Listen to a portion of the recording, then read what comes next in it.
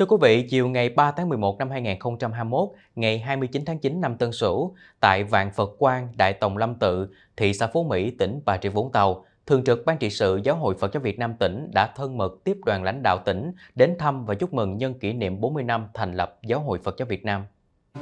Phái đoàn đại diện cho tỉnh ủy, Hội đồng Nhân dân, Ủy ban Nhân dân, Ủy ban Mặt trận Tổ quốc Việt Nam tỉnh do bà Nguyễn Thị Yến, Phó Bí thư Thường trực tỉnh ủy, trưởng đoàn đại biểu Quốc hội tỉnh làm trưởng đoàn. Tháp tùng đoàn có ông Nguyễn Công Vinh, Phó Chủ tịch Ủy ban Nhân dân tỉnh, ông Nguyễn Tấn Phong, Phó Giám đốc Sở Nội vụ tỉnh, bà Trần Thị Kim Phụng, Phó Giám đốc Công an tỉnh và một số cán bộ các ban ngành trong tỉnh.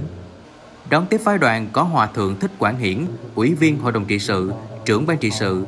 Đại Đức Thích Nhuận Nghĩa, Ủy viên Hội đồng trị sự, Phó trưởng ban kiêm chánh thư ký, Thượng tọa Thích Giác Trí, Ủy viên Hội đồng trị sự Giáo hội Phật giáo Việt Nam, Phó trưởng ban kiêm trưởng ban kiểm soát,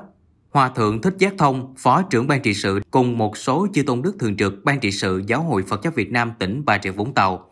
Đại diện lãnh đạo tỉnh, bà Nguyễn Thị Yến có lời chúc mừng đến các vị lãnh đạo Trung ương Giáo hội Phật giáo Việt Nam cũng như Phật tử cả nước nhân kỷ niệm 40 năm Phật giáo Việt Nam thành lập. Nhân sự kiện này, bà cũng thay mặt chính quyền cảm ơn đến chư tôn đức Tăng Ni và Phật tử tỉnh trong hơn 30 năm kể từ khi thành lập, tỉnh luôn đồng hành cùng chính quyền và nhân dân trong mọi hoạt động an sinh xã hội. Mong rằng với truyền thống tốt đạo đẹp đời, Thường trực Ban trị sự tỉnh nói chung và cá nhân Hòa Thượng trưởng ban nói riêng tiếp tục vận động tăng ni và Phật tử tuân thủ quy định của pháp luật và tiếp tục là những hạt nhân quy tụ tín đồ Phật giáo xây dựng cuộc sống tốt đẹp.